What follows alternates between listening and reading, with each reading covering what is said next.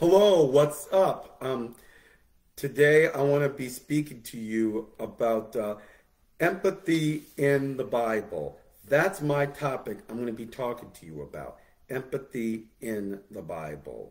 Um, and um, in it, um, it indicates many ways, um, talking about um, how empathy sort of relates to compassion, being low key, um, and um, showing yourself how to be um, loving and caring for one another the same way you um, love the entire church. Now, last week on my previous messages, um, when I talked about um, Christians showing a little empathy, and uh, yes, I could be right. It's all about Christians being empathetic. Um, I have told you that word empath comes from the word empathy, which literally means the ability to understand and share the feelings of one another. Consequently, and therefore, we have to learn how to um, share um, somebody's feelings in the time of their own crisis um, and um, under normal circumstances and through trials and tribulations um, in a crisis like this.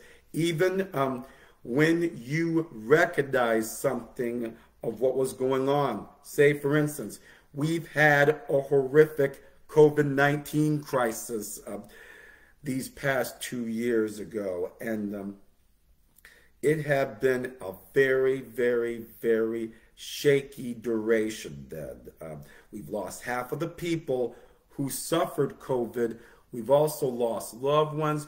All the places also had to close down because of COVID. Um, we couldn't go anywhere. We had to remain homes and almost in complete isolation. Not and because of the fact we also had to stay six feet away from the people we really love. Absolutely six feet. All we ever did um, at that particular time was um, we just uh, pretty much um, do social distancing. However,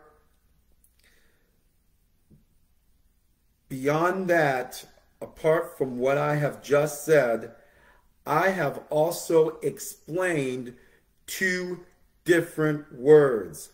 The difference here um, between um, empath and empathetic. Um, now, like I have said, empath is the ability to understand and share the feelings to one another. But on the other hand, an empathetic person means is somebody who actually experiences the emotions of somebody else, um, even especially physically affected by by these emotions, and possibly knowing the motivations behind the person's feelings or actions. In other words, um, empathetic people also have the common courtesy of on which they have to do to sense body energies, vibes, and other es esoteric forces, and so forth. Now,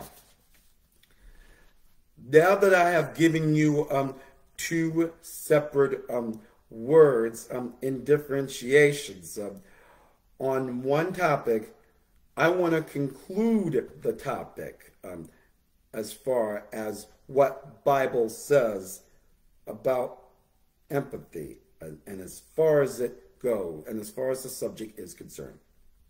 Listen to this. The scripture refers to the quality of empathy, which we see demonstrated in several biblical narratives. Now, empathy is the capacity to feel somebody else's feelings, thoughts, or attitudes vigorously. The Apostle Peter counseled Christians to have. And if you have your Bible or Bible app, please, I want you to turn into 1 Peter 3 8. And it says, compassion for one another. Love as brothers, be tenderhearted, be courteous.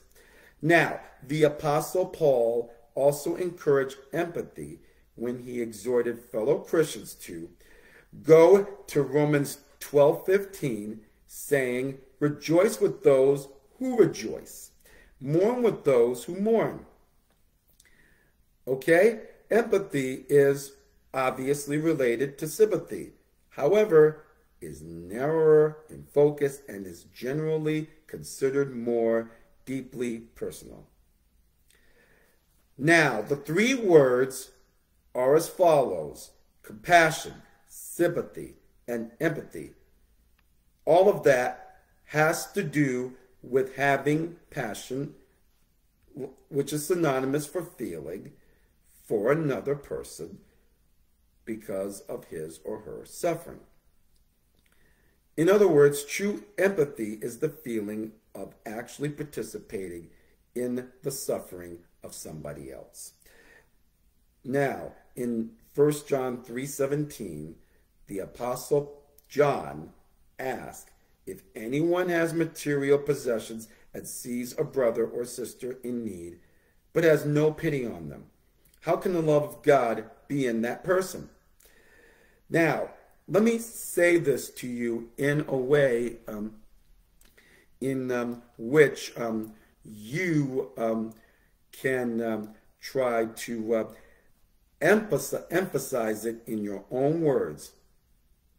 Pity in this verse is synonymous of empathy or is actually related. No, no, no. I take that back. Pity in this verse is the opposite of empathy, which both require actions.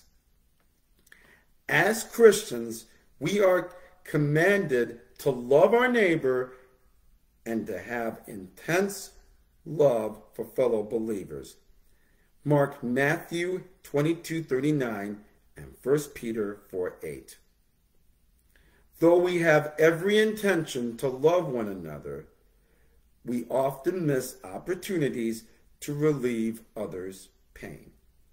That could be because we don't know of other needs, or perhaps we are not showing what empathy means to each other. Now, I want you to know, first and foremost, Empathy is the key that can unlock the door to our kindness and compassion. There are several examples of empathy in action in the Bible. Jesus was always sensitive to the plight of others. Listen to Matthew 9, 3, 6, Matthew 9 36 and find out what it means. Matthew tells us how Jesus, when he saw the crowds, had compassion on them because they were harassed and helpless, like sheep without a shepherd. On another occasion, Jesus observed a widow about to bury her only son. Sensing her pain, the NLT says that Jesus' heart overflowed with compassion. He approached the funeral procession and resurrection and resurrected this young man, Luke 7 11, um, verses 16. Now, what I'm going to do is to read um, a couple of Bible scriptures there, and um, at that point, um, you then tell me what you think about this. This is very good. It says right here, now it happened the day after that he went into a city called Nain, and many of his disciples went with him and a large crowd. And when he came near the gate of the city, behold, a dead man was being carried out, the only son of his mother, and she was a widow, and a large crowd from the city was with her. When the Lord saw her, he had compassion on her and said to her, Do not weep. Verse 14 Then he came and touched the open coffin, and those who carried him stood still. And he said, Young man, I say to you, arise. Verse 15 So he, so he who was dead sat up and began to speak. And he pre presented him to his mother. And finally, in verse 16, it says, Then fear came upon all, and they glorified God, saying, A great prophet has, rise, has risen up among us, and God has visited his people. So, having lived a human life, our Lord can, our Lord can and does empathize with all of our weakness. Mark Hebrew 4:15. This is the scripture you have to read for yourself.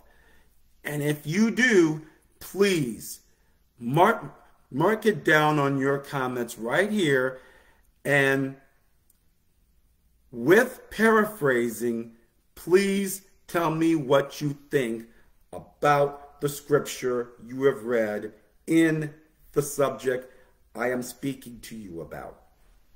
And finally, the word compassion describes the deep mercy of God. In other words, God is the very best at empathy. Psalm 103 14 says it in this way He knows how we are formed, He remembers that we are dust.